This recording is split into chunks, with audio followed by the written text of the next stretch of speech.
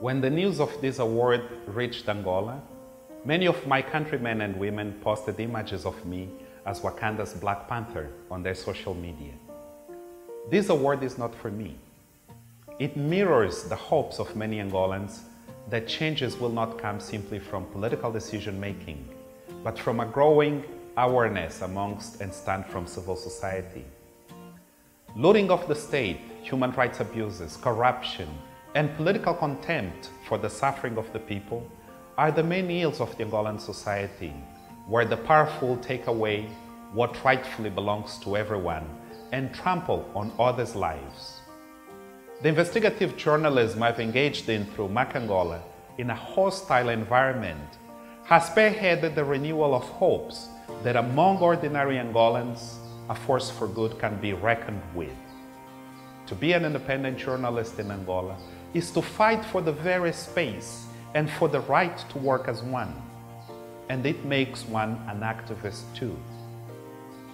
It is for these hopeful Angolans and with a greater sense of responsibility, but without the Black Panther suit, that I humbly accept this award.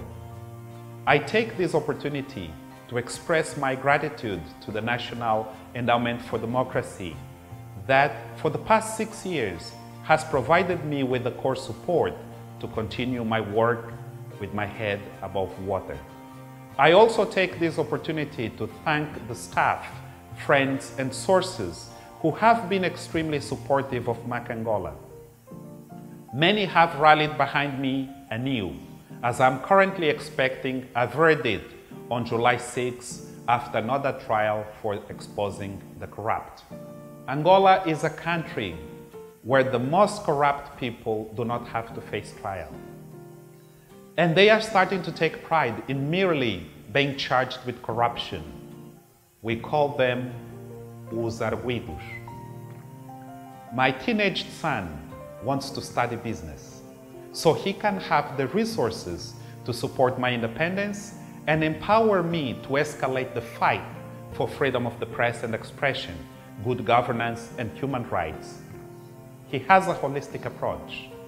I hope by the time he succeeds, there will be a new Angola for him to contribute to, in which its development and freedom of the press and of expression will be taken for granted.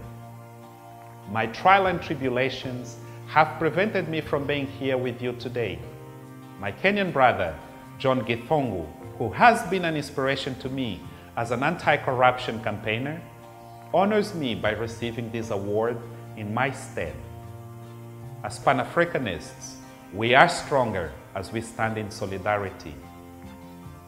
I am most grateful to the International Press Institute for this gift of hope that many Angolans are celebrating as their own triumph over the entrenched power of the country's bandits. Thank you